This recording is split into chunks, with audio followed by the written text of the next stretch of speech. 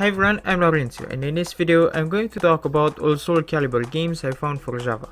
Soul Calibur War Roots Extreme is a linear action adventure. I haven't played much of it because it's in Mandarin and I don't know the language.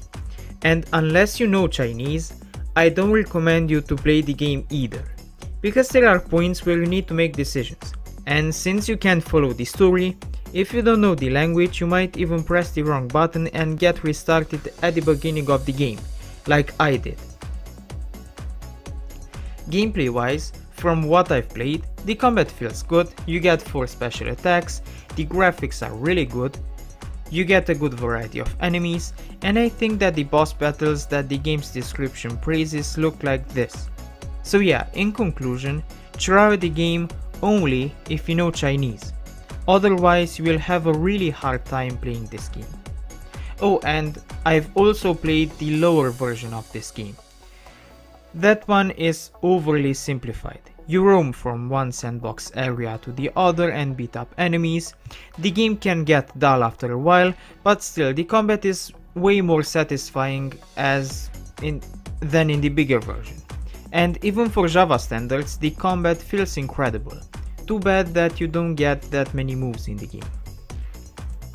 Soul Calibur Mobile is in my opinion a flawless port of a fighting game on Java. And what I mean by that is that you can clearly see and feel that the game tries to imitate the console experience. But unfortunately, Java phones can't imitate the experience. Thus you get a fighter that has limited moves, that doesn't feel as snappy or as fast as consoles usually are and overall you can see the effort. And the game is fun, if you don't have a handheld by you and if you don't compare the game to a console. For Java standards, this game is amazing, but for normal fighting game standards, don't expect much from the game. You get 8 characters, and each character has multiple outfits, the game has 4 battle arenas, it's surprising that you get multiple stories for the characters in the game, and you also get the usual arcade mode and survival.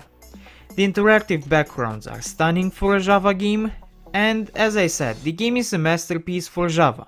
Just don't compare the game to a console experience, because it feels like a simplified version of that. Soul Calibur 2 is an adventure game, but unfortunately, unless you know Chinese, you can't enjoy the game.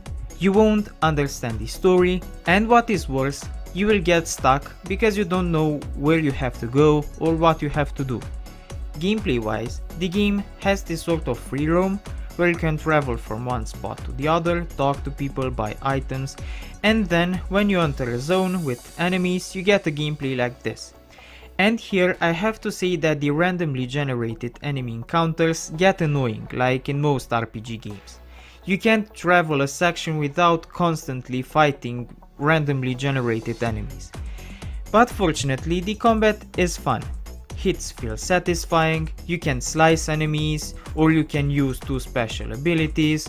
Overall, from what I've played, the game is incredible. The gameplay is top notch, the graphics are top notch, but since I have problems with the language barrier, as I don't know Chinese, I haven't gotten far in the game.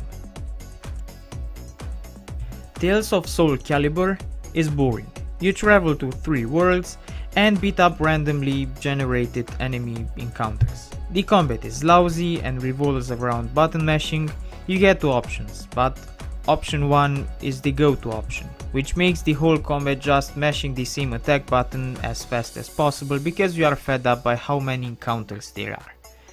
The locations are different, but they get dull after so many enemy encounters.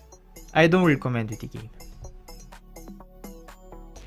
Okay, so this was the video. If you liked it, please hit the like button and subscribe. If you want to financially support me in my pursuit to review as many video games as possible, you can do that on Patreon or on the channel's membership section. You would help me a lot. If you want, you can follow me on Twitch, Instagram or Discord. And if you want to see another video of mine, just wait till I stop talking and there will be thumbnails of other videos I've made. Thanks for watching.